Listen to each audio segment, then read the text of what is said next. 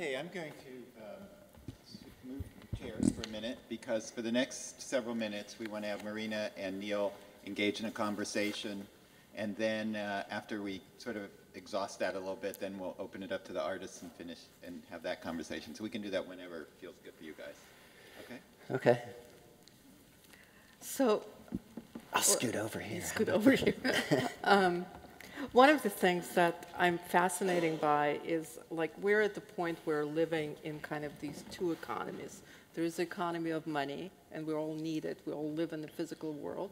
We need to eat, have Pay rent. shelter, pay rent, whatever, send kids to school, um, all kinds of other things. And then there's this other economy of this gift economy. You know, there's many names for that, where, which is operating in some ways on a very different currency system. And um, it's fascinating for me to think about. You know, one of the things that I think about is how these new forms of production, they really, for century, we've been taught that we're all uh, rational economic actors, uh, act out of self-interest, and money kind of flows into that. And the, there's all these other currencies that are flowing. And actually, if you look at our lives in general, you know, we do tons of production with, for no money. We care for our children, we care for older people, we do things for our friends. Those are all forms of production that we don't kind of notice. We don't even think about it as something creating value, and yet it is. But it's kind of like this form of production is capitalizing on new currencies, what you said about you have access to all these resources that because it's not just money can get you resources your social capital can get you resources. So what what, what are your thoughts on like what, what's the currencies that are flowing in these economies? Um, well i mean one of the things that, that um, that uh, people talk about reputation and trust, um, and and I think in, in we're sort of experiencing a, a an economic crisis. So we're asking these questions about the economy, and starting to discover that there are are these other ways of exchanging value, and and people are consciously trying to break the monopoly of sort of the the, the money system as a, a medium of exchange. Um, and so a sort of diverse ecosystem of ways of exchanging value and creating values is um, starting to present itself. Um, I think one that doesn't, one currency that doesn't get often get talked about um, is, uh, I don't even know if it's really a currency, but I think purpose is really important um, in, uh, in a, a, sort of uncertain environment and um, a kind of unpredictable landscape that when I just see so many times, like, you know, like a Kickstarter project is an example of this. You, you write up a clear statement of what it is you want to produce, and, you know, and if it's well articulated and, um, and, and kind of unique, um, you know, people rally around it. You know, it's, um, and so having like a clear purpose is a sort of currency. And, and if it's a purpose for something that, that's positive, that serves the common good, and that's very visible and that's transparent to a lot of people, you know, this resources come your way. You know, it's like you planting a, a, you know, a flag in the ground and saying, let's rally around this. And what do, what do you think of this? And then people, people come and, and put,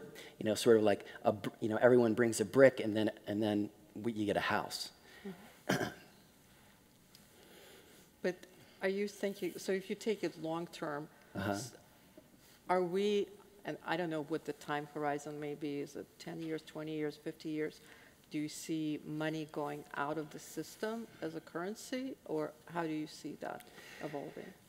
Uh, yeah, that's, uh, that's a great question. I mean, I, I tend at this point um, to think that rather it'll just, there'll be um, coexisting forms of exchange, um, um and that the, the, the sort of, um, sort of central bank sort of monetary system, right, um, will lose its lose its importance. Um, hmm. uh, to, uh, and, and, and to a certain extent, I think there, there's a tremendous amount of dialogue uh, and criticism um, and media that's being made right now that criticizes that. So people are their awareness of how that system works and how it doesn't really serve us, or it, it only serves a small, uh, you know, portion of us, a small group of people.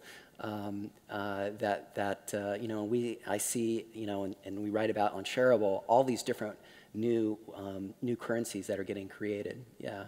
So I think a, I think it's more that it'll be kind of an ecology of different uh, exchange systems or currencies. Yeah, I, I kind of think that it, it may be that we've been so out of balance in that what is being produced in the money economy and what's being produced in other ways that maybe we're going through a process of sort of rebalancing the world that you know there's a lot more i mean clearly one of the things that we're seeing as these kind of social production models are growing is that value is being taken out of the other system. So whether it's in music labels or studios or publishing or you, across domains, uh, I just saw this kind of a little bit scary statistics. If you look at rates, uh, uh, return on assets of the 20,000 U.S. public companies over the last since 1965, Uh-huh. it's been going like this down. And so actually the projection is that by 2022, they're going to go to zero, which is a pretty interesting, and I'm trying to unpack that, like, where did that money go? It's possible that it's all gone into our financial system, and that's where the money, but it's really creating no value. So there is a kind of um, rebalancing that we need. We need to redeploy these people. We need to redeploy those assets and it's possible that more of the value will be created through things like Wikipedia, that's basically a not-for-profit. Uh, Right. And, and, but it requires also people, some, that's another big part of it is, so are people, do you see kind of a generation of people deciding that there is a different kind of value system and meaning that they're after rather than money? Because, you know, that's a big sort of unknown to me yet. Yeah, I mean, I think there always has been, you know, communities that saw value outside of money. I mean, the artistic community comes immediately to mind. Um, uh, uh, but I mean, the, there is um, there is kind of a shift, um, a shift in. I hate this term, like, but this is the term that's used, like consumer behavior, um, and and. Uh, I don't like the word consumer. It's a horrible word. It should be banned. But but uh, um, uh, and so people are are thinking more carefully about their own resources and and what it is they actually need to have a good life, um, and uh, and and also realizing you know if uh, if you go through if you go through a financial crisis. Um, you you you know my my guess is, and I've had this experience also, is that you definitely reevaluate. You're like, well, how did I get in this spot, and what's really important to me? And you may even feel constraints. I mean, like I can't go on vacation, I can't buy the car, and and this kind of thing. And you, and you start to think about, well, what's really important. Then you start to think about things like relationships, and and um, and and maybe you could spend more time outdoors um, and connect with nature or create art um, or that there's that thing that you wanted to do, and, and now you have all that time, and, and so you can do it um, and invest in that. So I think that I think that that is happening. Um, you know, whether that's that's durable or not, you know, I don't know. I, I kind of get the sense that we're at least coming sort of uh, near the end of this kind of consumer economy. Um, it's sort of a phony economy, really. I mean, in, in a lot of ways, where the, the wealth is created through finan- financial manipulation and, and the production and selling of crap we don't even fucking need. Right. Well, it's interesting. The, some of the things we've been doing at the institute. So, you know, there's all this research now shows that actually having, you know, beyond a certain point where you need a certain amount of income to be comfortable, beyond that point, the more accumulate, you, it's not correlated with happiness or satisfaction or all other things. And the pleasure in terms of buying or having goods doesn't come from owning them, but from social interactions that they bring. So some of the things we've been thinking about is, you know, what is it that you have that's an idle resource for you, or that, and that's part of shareable, that you can socialize because you can take that idle resource And basically, if you share it, all of a sudden you create this tremendous value and goodwill, and it also brings you pleasure. So, some of the things we've been doing is uh, we have space, not as beautiful as this space, but some space. And so, we've been offering this space to co working. And um, we just advertise it on social media. And the first time we did it, we just had no idea who's going to show up. Uh, but turns out that really interesting people showed up, artists and people who are working, um, entrepreneurs and I came. individual. You came, yes. Somebody and somehow connections started happening, and people were having great conversations, and it kind of provided this little buzz to our own employees and staff, and all of that. And all of a sudden, you just realize, okay, this space is not utilized probably 50% of the time. If you can turn it into social space, you get tremendous value. So I think if all of us turn to ourselves and say, well, what is it that I have that's underutilized, that's idle, that I can socialize? Because the value, the, the real pleasure of all these things comes from social interactions around them. But I, I don't think, I think we've been sold kind of a bowl of goods or Yeah. thinking about what it is and what brings us pleasure and what brings us value and how we get happy and all of that. And the reality is not like that at all. Our colleague Jane McGonigal just wrote a book called Reality is Broken, in which she talks about all of that. That, uh, and luckily now through science of happiness and psychology and behavioral economics, we're just realizing that all of that thinking is a kind of a, a game that we've been sold, and it doesn't really work very well. Right. I mean, you know, the, the for me, like consumer, what consumer culture does is like, you know, all value is outside of the individual and outside of community. It's like if your hair is, you know, blonde, it should be brunette, and if it, you know, you, you should, if you, you shouldn't, you know, the cool people are somewhere else, the cool things that are happening are somewhere else, um, the cool things to have you don't have. Um, and, and I think this new way of thinking is more about like realizing what it is you already have and, and, uh, and, and offering that out, um, but also um, thinking about it collectively, like what else, what, is my, what do my friends have? Um, you know, what could I give to them, but what do they have? You know, so it's, uh, you really, my experience is like in doing that salon, you know, was that people had a really hard time actually getting, receiving help, right? So in, in a kind of gift economy, you both have to be okay with giving away, but also okay with receiving, and that's the only way that you can get things to flow. And so when we, you know, uh, when you know the marketplace starts to break down or money becomes scarce and you you- you're not, you know. Uh, un- you know, employment isn't so secure, money is scarce, then we can, you know, we, we turn to each other then, right? Um, and I think, I think that's more and more what we see at Shareable is people realizing what they have, um, the common wealth that they have together, and cultivating that. Maybe you can, um, there's some very cool projects that I know you write about on Shareable, like Neighbor Goods. Just name a few of those before we open it up. So Neighbor Yeah. Goods. Yeah, so there's there's neighbor goods and Do you guys know about Neighbor Goods?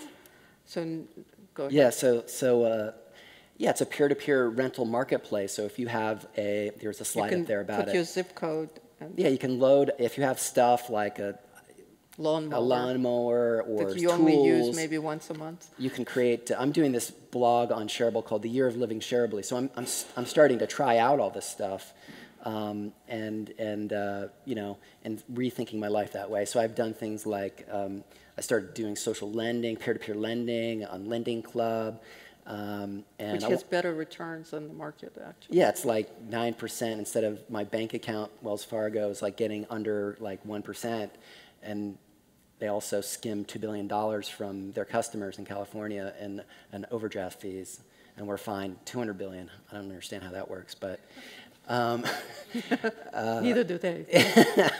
good lawyers.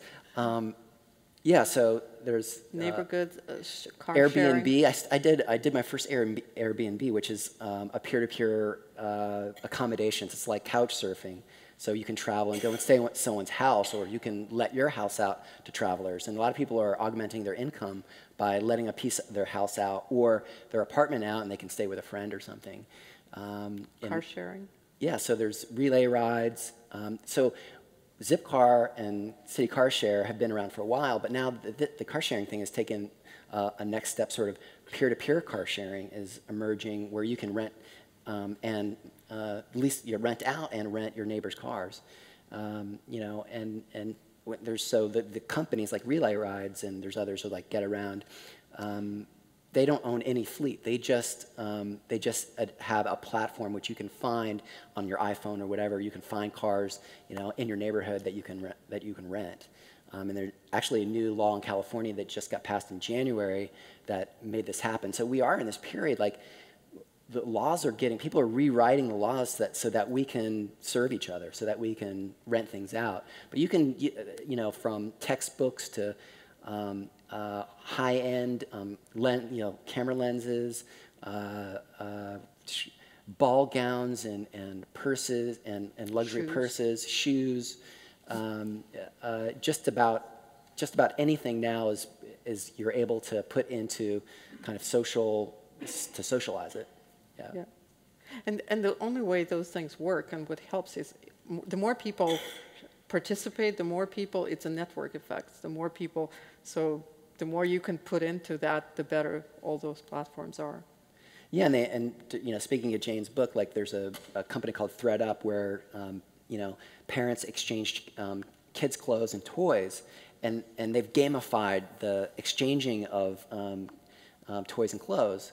Um, so the better community member you are, and the, the higher rating that your boxes of clothes get, and um, the more transactions you do, the you know you can level up. You can find yourself on the leaderboard of the homepage because you're a good, you know, good community member. It's really, it's really fun. It's and bringing people together and really rewarding. I think, you know, positive, constructive behavior. I mean, the the fact of the matter is, is I think we really do have to share.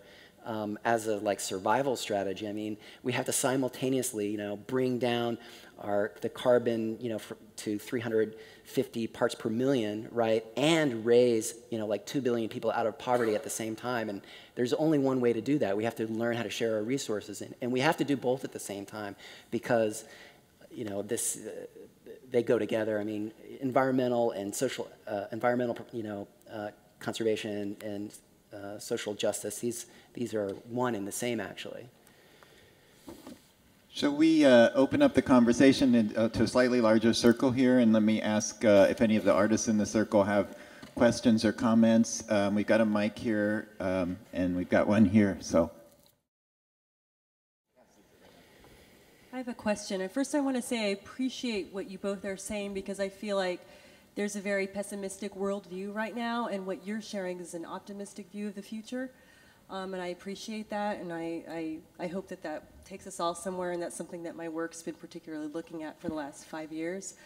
But I guess I have a question because, even, excuse me, I have a cold. Even in the last conversation we had, we talked about being in the Bay Area and having a history of, for example, the diggers who believed everything should be free and everything should be shared, or the history of the Black Panther Party's breakfast program, which fed children.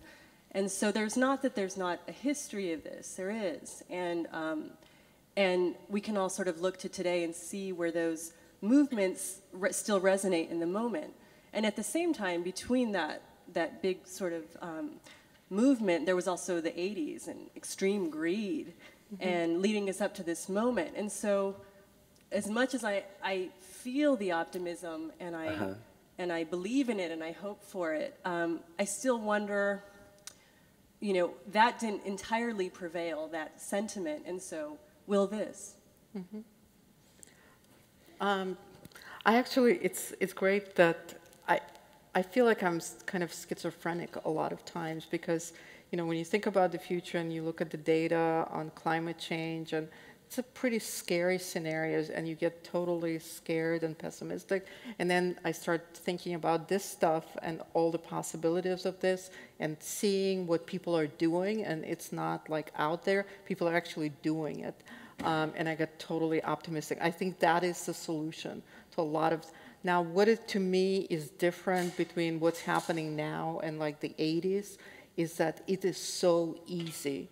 The costs of doing this have gone down so much that it can take only a few people connected through these. The, the technology has really has driven the costs of doing it down. So all of that that only few people could do and it required a lot of effort, it's kind of seamless. It's almost and not a lot of people relatively not as many people are doing it, but it's kind of transforming. And I do think that, you know, even kids who are now growing up with where they can pose a question online and get they're, they're kind of they grow up with this idea that knowledge is shareable ideas are shareable i don't need to have an answer. Somebody else has to have i can dip into somebody else and there is this resource wikipedia that's created out there and all of that that's what makes me optimistic and and it's a kind of we call it at the institute urgent optimism it's it's something that you can be optimistic, but unless you work to make it happen, and it's easy, I think the technology is what making it possible. And to me, that's the difference between like today and the 80s.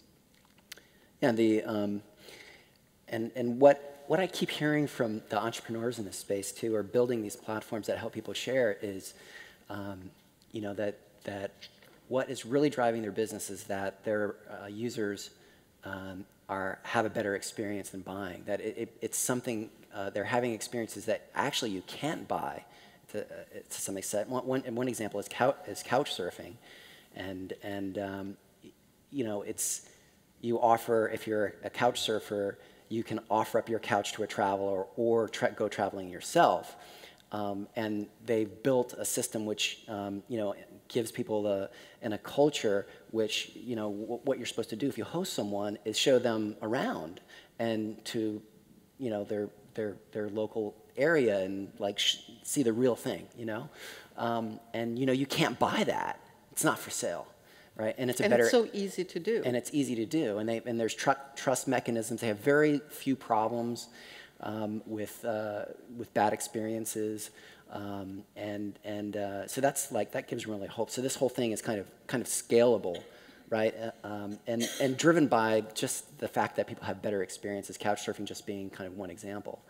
Um, it's just this that that social production or that kind of socialized economy where you know it's it's peer based. I mean, this is more fun. You meet people, and and and then there's all these follow-on kind of things that happen when you start connecting with people, you know, um, around a car that you share or a couch that you share or whatever it is.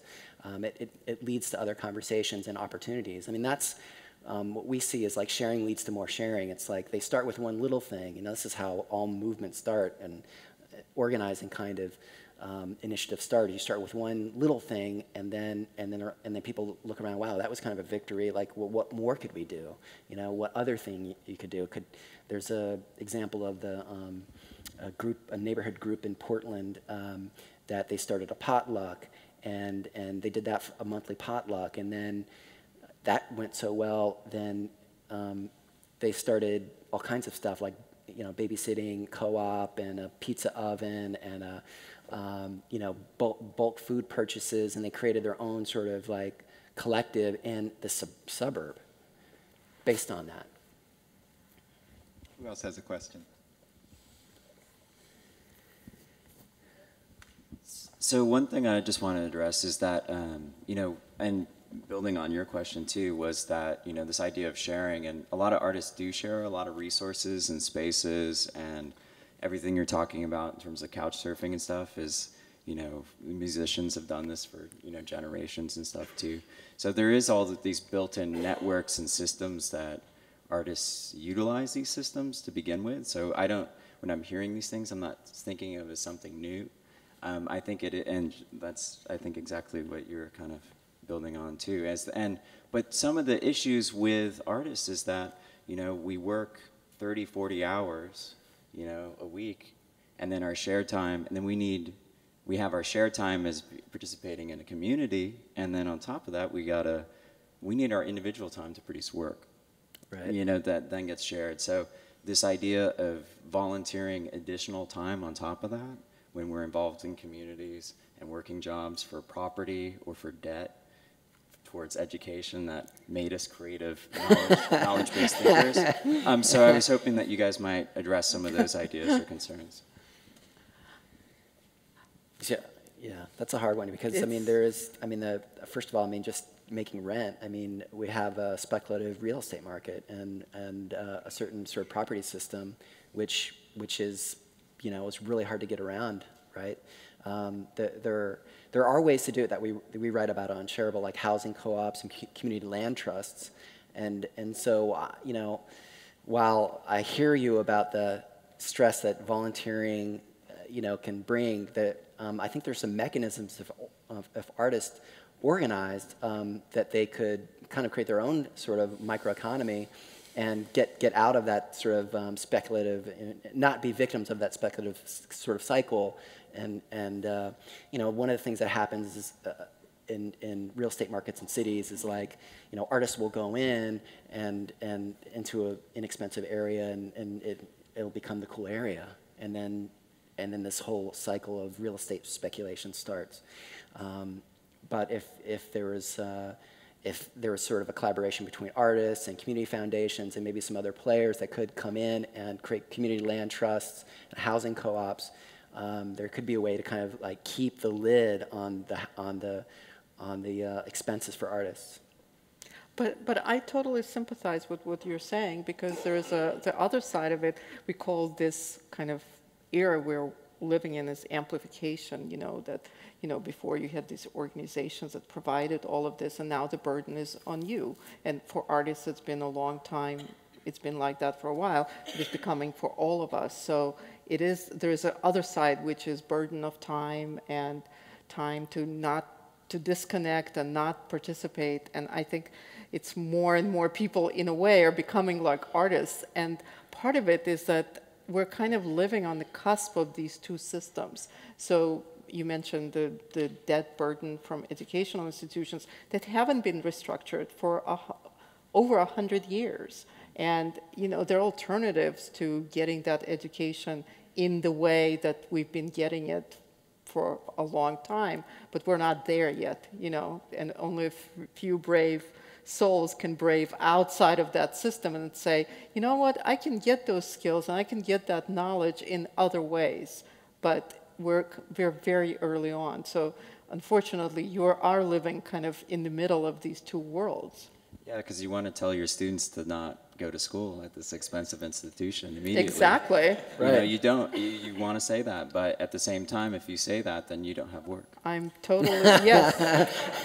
but there are other ways of, um, yeah, there are all kinds of, so it, it requires kind of rethinking, well, what is that model? So what if you were not teaching at a university or college, but what if you had a class of people you were mentoring and you were kind of having a class that you were guiding and they were paying you directly. I, it requires a brave soul to say, you know what, I'm going to create my own system. The possibilities are there, but it's, it's, it's hard. It's not easy. Somebody is going to be doing it, and more and more people are going to be doing it. Whether you want to be one of the pioneers. I'm totally in the middle of that because I have a son who's in college, and we're in constant conversation about why do I need to go to class on their schedule, on do things that they want me to do rather than, and I'm like, huh, yeah, I totally get that. And Are you brave enough to, to get into your own system, to create all those resources? Because that's a burden of it. And the, again, that goes back to time and the artist's time, Yeah, which I think all artists here face. So. right. I, I mean, I think my comment and question is really similar, but I was going to pose it that the actual production is already volunteerism, because I don't think probably anybody in this cir- circle has cut a profit. I mean, correct me if I'm wrong. Like, is anybody living off it?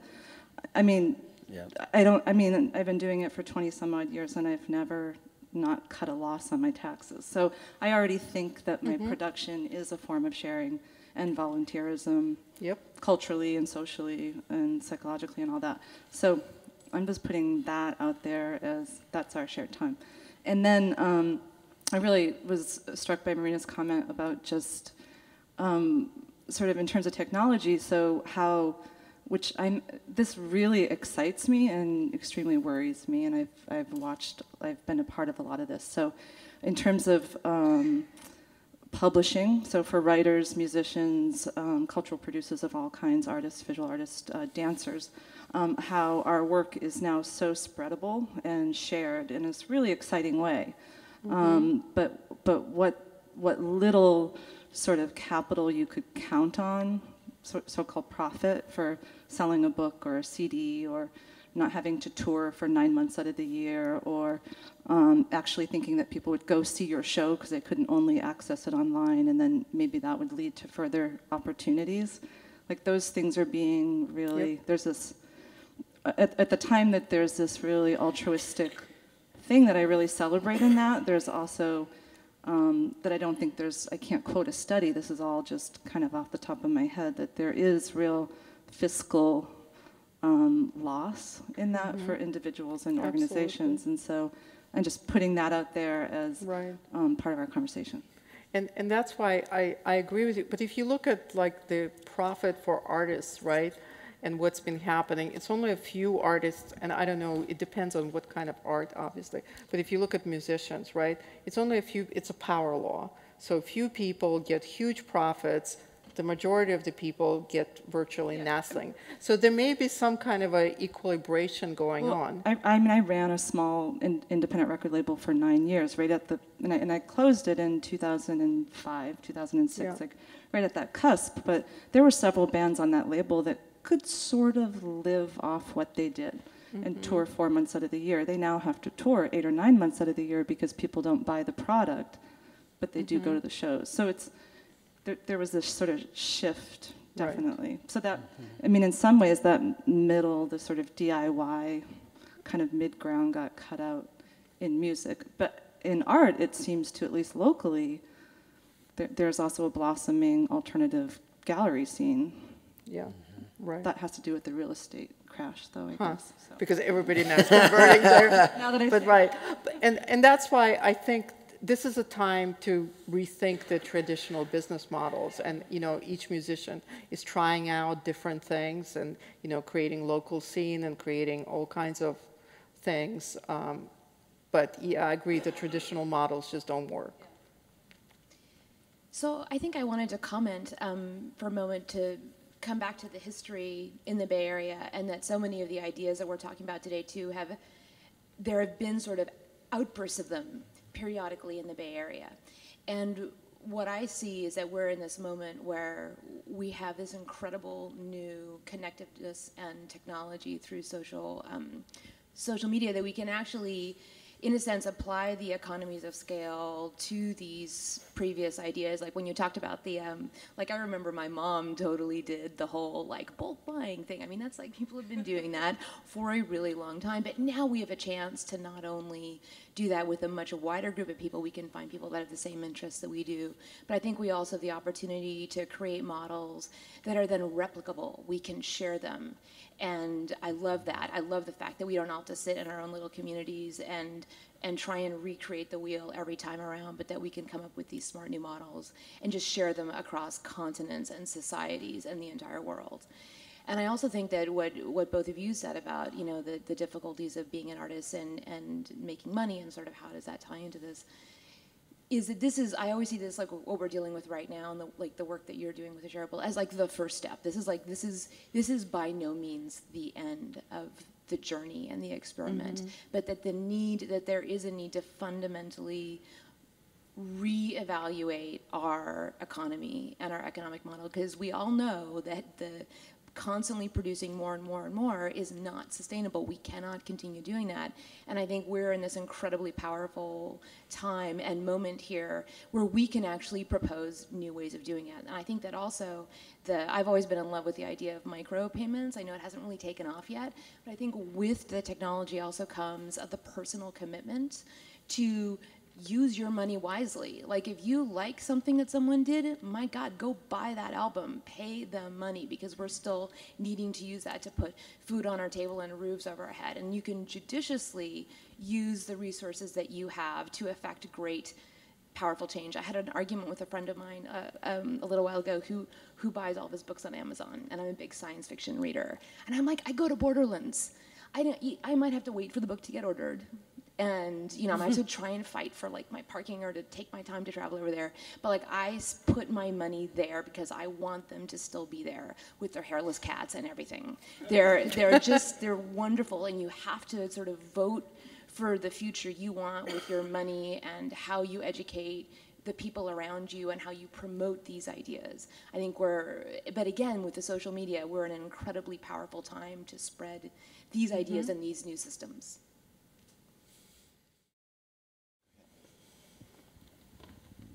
Yeah, just kind of building on your optimism. Actually, I, when I'm, I was reading um, some Marshall McLuhan, um, just like I, know, I had the book sitting on my shelf for ages, and just you know, I think after the food conversation, I just went, oh, this is some futurism.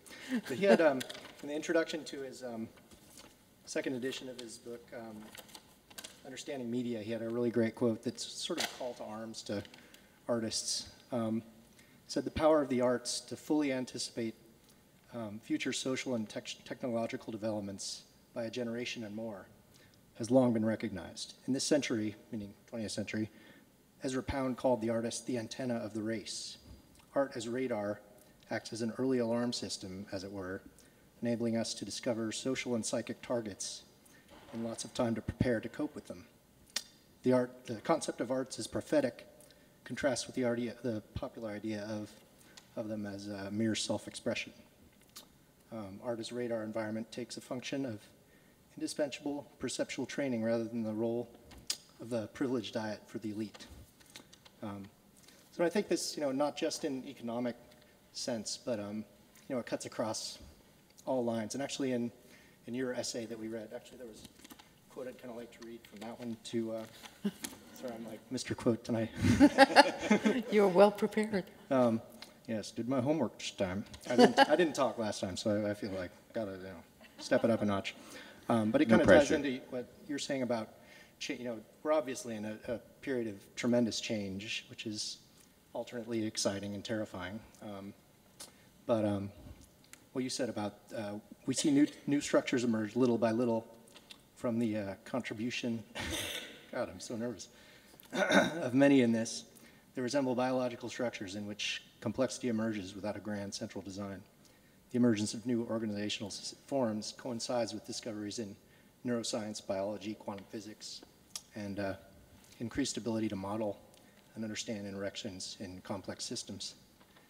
And, um, you know, it's been like with uh, Newton and Da Vinci, you know, just came up with very similar ideas in very different media. And uh, Picasso and Einstein, you know, I mean, I'm not sure. I'm, you know, slacking on my game and my role as an artist. In, uh, um, I'm not sure I'm pulling my weight in there, but I think, you know, I do believe, alter, you know, um, in the power of, of artists and the interconnectedness of, um, you know, maybe it's because I grew up in the Bay Area, all granolified, but you know, the way things uh, can emerge out of this, and I think it's really exciting time to, you know, since we're sort of in the, the center of this technology explosion that's, you know, giving us an incredibly incredible change in Middle East and all over the world. It's just exciting to, to be here and exciting to um, see the possibilities of Yeah. what can emerge from this. And I totally agree with you that I think artists oftentimes see things before, like we, in, when we think about the future, oftentimes we look to art because artists kind of have the insight that different from maybe scientific method, but I think there's many different ways of knowing, and I think artists can kind of see the future in, in a different way. Yeah, we're, I mean, it, we're, I was just thinking about, we've been talking about the future and the past and talking about, you know, attempts in the Bay Area to establish some like alternative economy or alternative economic models. And, and you know, I, I think back to, uh, think back to the, the, a little bit that I know about the history of bike sharing, right? And there's really been three generations of bike sharing. And the first one, like in the, I think it was in the late 60s or something. It was the white bikes, and they all got stolen or repainted or thrown in the canals. And this was in, in I think, Amsterdam, right? And, and uh, and uh, you know, and it took you know 40 years to, and only in 1997 with the Vélib' system in Paris, and they kind of had all the right technology and ideas about how to do it, and uh, and a and, and a business model which isn't perfect and it's problematic, but it was good enough that that uh, you know bike sharing is now spreading all over the world and actually is the um, according to some the fastest form the fastest growing form of public transportation is bike sharing and uh, just about every major city that doesn't already have a bike sharing program in the United States at least um, is is planning them and bike sharing is going to come to the Bay Area on a region wide basis from San Francisco to San Jose later later this year um, or at least it'll start start producing them so this is a pretty cool thing Hopefully in, st- in time before Caltrain stops running. yeah, exactly. so I guess the the message there is that like just because it hasn't worked before doesn't it doesn't mean it, it can't work now or work in the future. So it's like keep trying. Uh, hey, uh, anybody ever been to Burning Man? Anybody? Four of us? Burners? All right, cool. um, just wondering. Um, there, it seems to me that there already are multiple economies in play. There are multiple value systems in play. Um, you know, less than five percent of the global population. Um, owns more than 95% of global wealth. Um, so there already are multiple economies. And it, it seems that that 5% is deeply invested in keeping that proportion the way that it is. And part of that vested interest manifests itself in um, psychosocial dogma as integrated and disseminated through the educational system. That there is, right? So that there's, um, so that there's a way that my nine-year-old son has um, an emerging view on wealth, not value, but on wealth, that holds to your um, through your college age son and probably percolates through all of us. That um, we don't have a shared understanding of what enough is, what the threshold is when you've made it.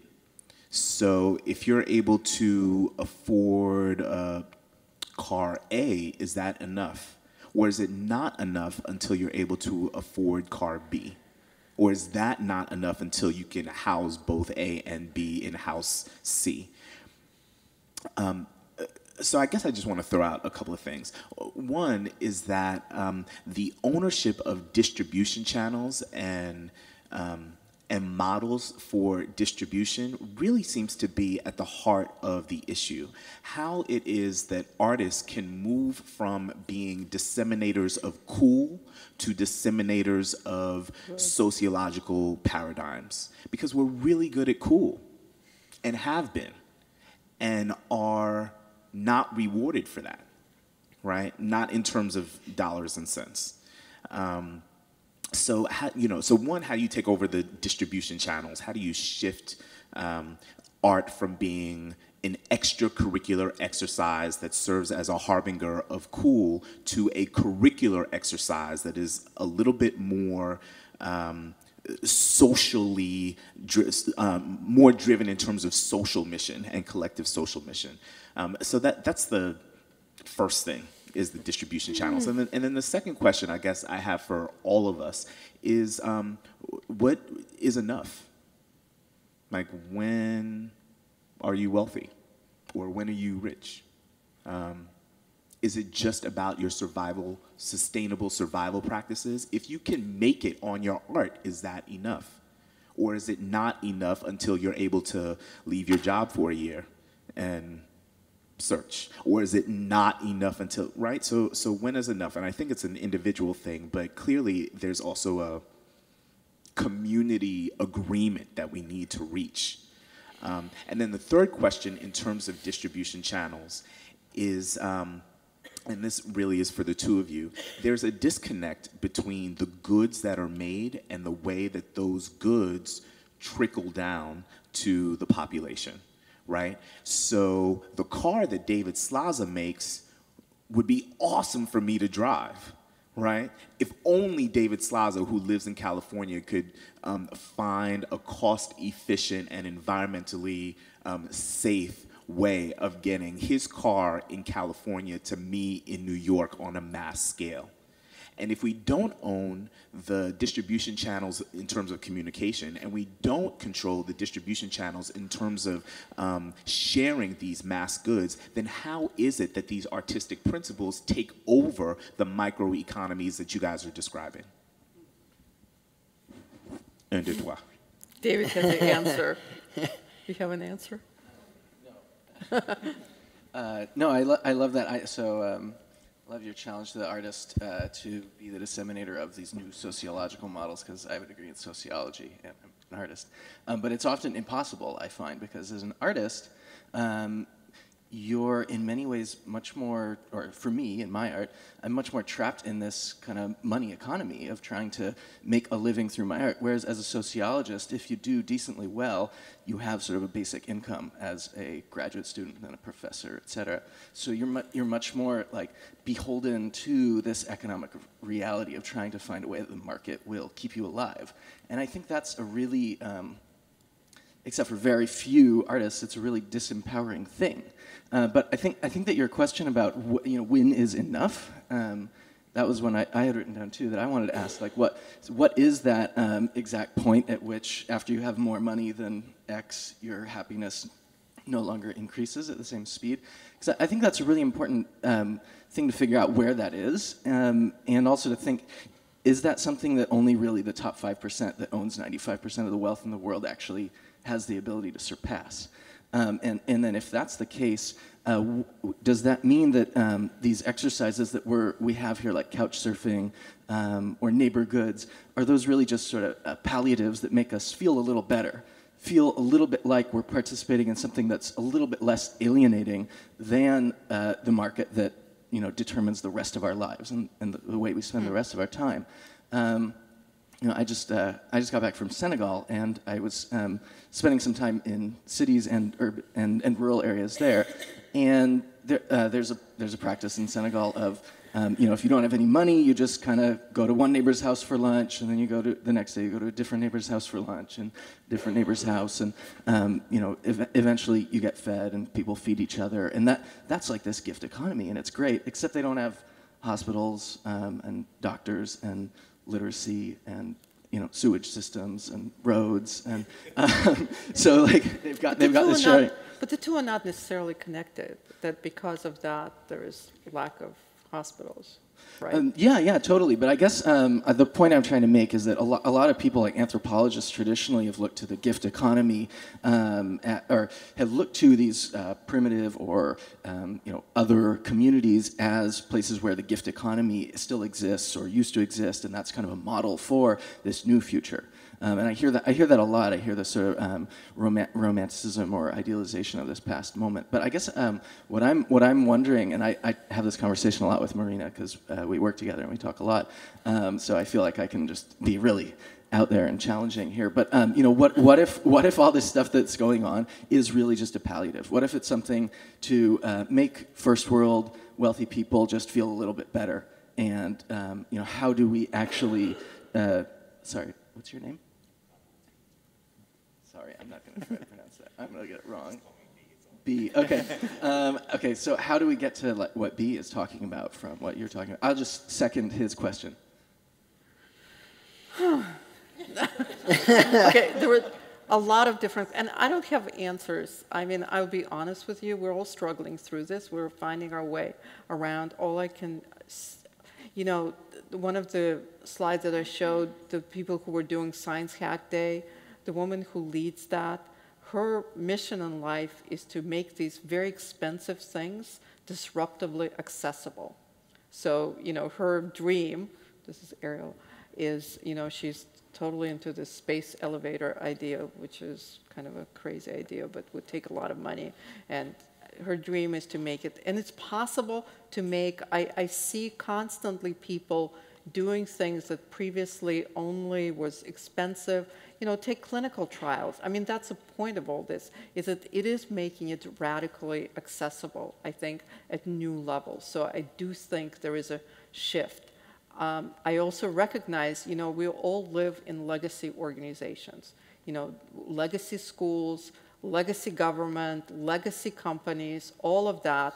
Those systems are very difficult to change. Although, if you look at what's happening in the Middle East, it, it's actually kind of interesting to see how easy it is for very strong or whatever things or institutions to fall and, and, and quickly. So it, it's kind of interesting to be looking at that. Um, I don't know what's enough. I do know that these kinds of income disparities, um, they create new kind of insecurity in all of us because once you have somebody at that extreme level, the average moves. So what used to be, you know, this is good enough or this I'm satisfied with this, you kind of create these new expectation of what, and that to me is very unbalancing. Um, I, I do believe, and this is my optimistic part, is that it's not just palliative. It's possible that some of it is, but I do think that it's fundamentally changing economics of the game. It's changing what it costs to get stuff and to create stuff and to make it affordable. So if you brought, I don't know who was talking about the car, the new car, I would love to bring together you with these hackers who are, whose mission in life is to make everything radically affordable and see what you can come up with together. And maybe it's possible to make it affordable. They've produced like PCR machines that cost on the market like $10,000. They can do it for $300. But are they getting distribution? I think Now they're trying to get distribution, yeah.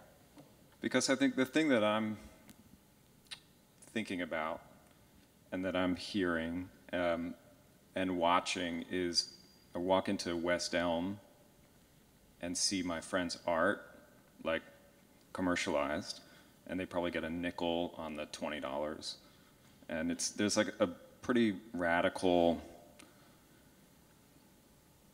I'm a Marshall McLuhan fan from day one, and as soon as the idea, the, the time lapse between the the idea being put into the world versus it being uh, leveraged for commercial gain outside of the mm-hmm. first person thinker's benefit is sort of getting super short from what I can see.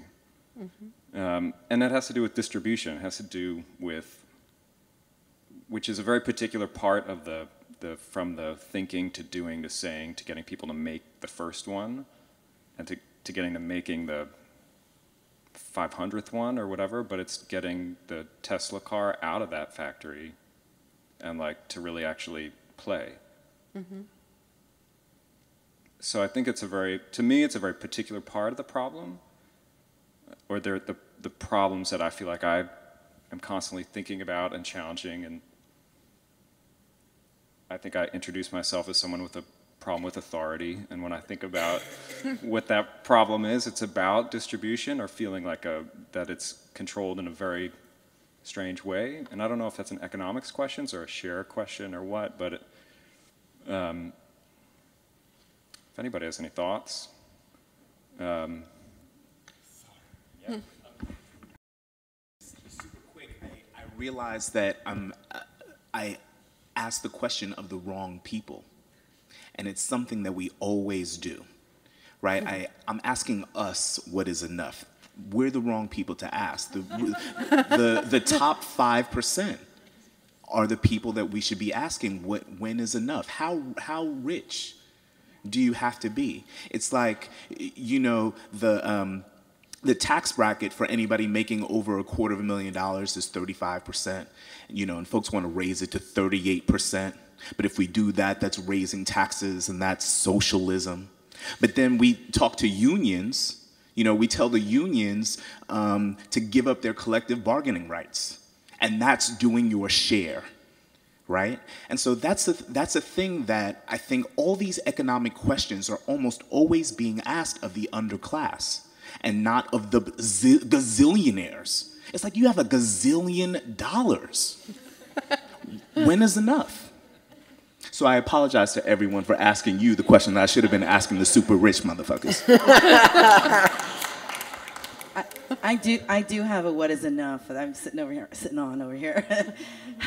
and that is that when I'm um, falling into my, my color girl pity party over um, can I hang on and still pay rent in the Bay Area and be a nonprofit profit arts administrator and a nonprofit musician? Um, how can I hold on staying here? And so it gets back to the me, me, the individual, individual, and pointing out there.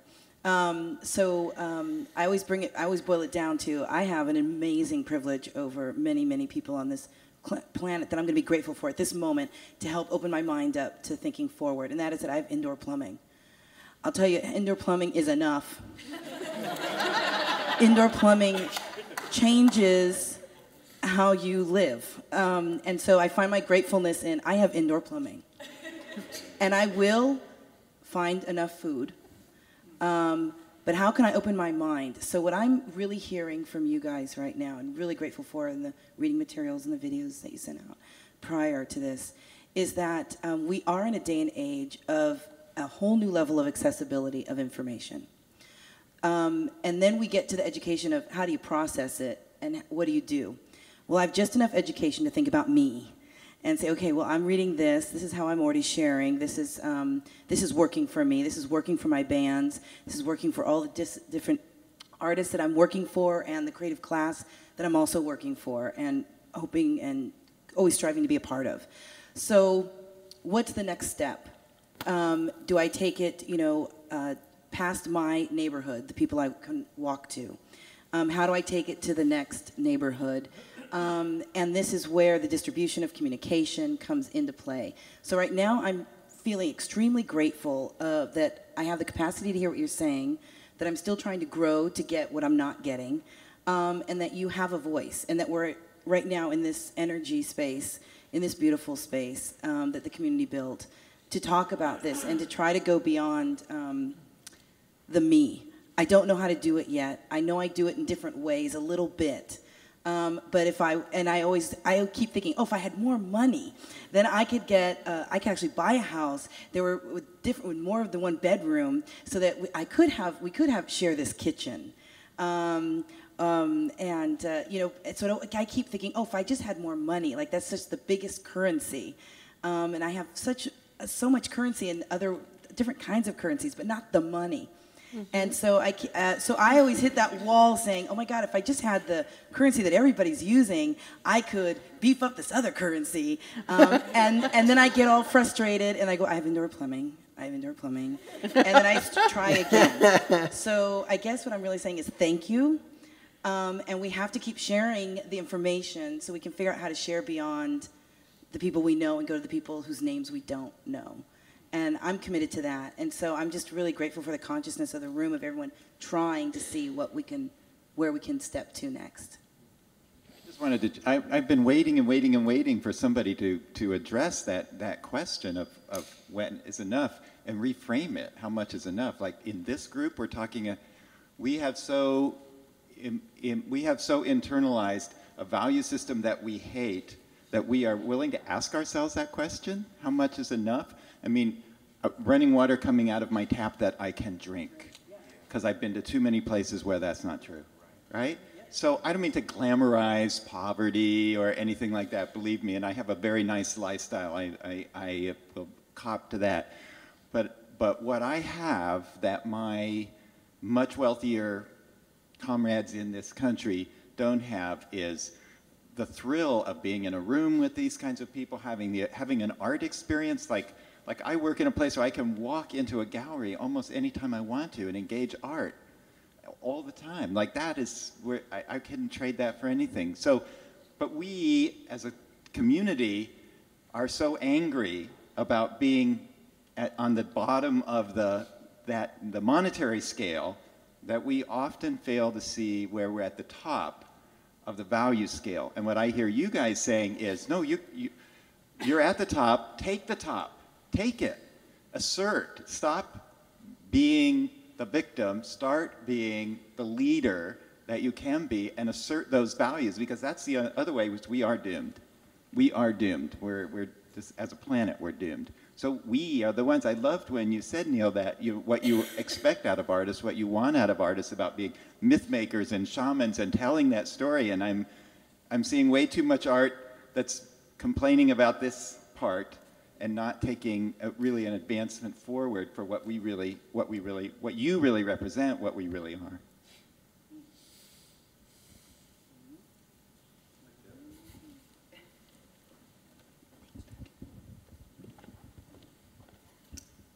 Yeah, I just I just wanted to say um, the other part of B's kind of question, which sort of about what you're talking about, is the education system and the way that this whole thing kind of goes down in the education system, whereby art becomes this form of entertainment. And I hmm. think that in order to do this sort of make this kind of collaborative cultural change, one of the things that we can do is be sort of partially responsible for all of the other things we do besides making things or products or whatever, which is that we are sort of in the world in lots of different ways. I think all of us have to do sort of a few different things in order to put together a living. And in doing so, maybe somewhere along the line, art becomes this more social form. And I don't know how that can happen, but I think that the sort of way in which art is seen, particularly in this country, is that it's this sort of very distant thing for most people. And I think there's kind of a problem in that that we can do something about. That's all. Okay, we're at break time. Um, so let me explain what's going to happen. We're going to take a break. Please don't leave because there's more fun ahead. Um, and we're going to sort of change all of this up so that we can uh, uh have a, a more, uh, more fruitful and more interesting and even more uh, in-depth conversation. So around the room there are five tables. And at each table is a particular question, and I'll read you the questions, but they're posted on the flip chart so you can go uh, figure what they, out what they are. What would an economy look like if compassion and humanitarianism were guiding principles? How can non-money economies, barter, trade, exchange, gift, etc., transform overall economies? Based on what we've been witnessing in Wisconsin, what is your vision for potential new models for workers and labor in government? What motivates you to work or contribute your skills to the public good? How does money motivate you? And how can art be central to economies of the future? What would an art currency look like? So everybody pick a question that sounds interesting to you, and when we come back from the break, we'll gather around the tables um, I don't know if you know this. Uh, many years ago, I went to England and I visited the House of Commons and took the tour. And when we went in the House of Commons, they told us, which I had no idea, that there's not enough seats in the House of Commons for all the members. And that's a deliberate decision because they feel that by doing that, it forces people to be really crowded together and the energy of the debate goes up. So there's not enough seats around the table for all the people that are here. so that we're going to force you to like you can stand you can sit on you can hang out whatever around the table so um, it's a deliberate decision in order to generate conversation you'll have like 15 or 20 minutes to have that conversation at the table the tables are covered in paper so you can write draw paint do whatever you want on the on the uh, um, the tablecloths there's also post-its and stuff so as, however you feel and by you i mean everybody audience we're in, in, uh, welcoming you into this part as well however you want to respond to that question.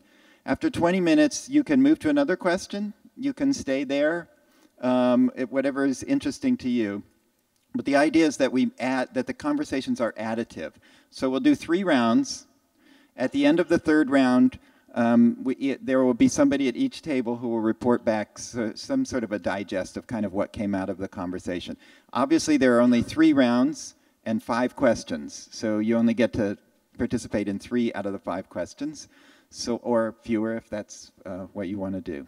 Okay? So we have refreshments here. Um, we have take about a 15 minute break, and we'll be back about uh, about three o'clock and uh, five till three, and we'll do uh, do this for the last hour. Thanks.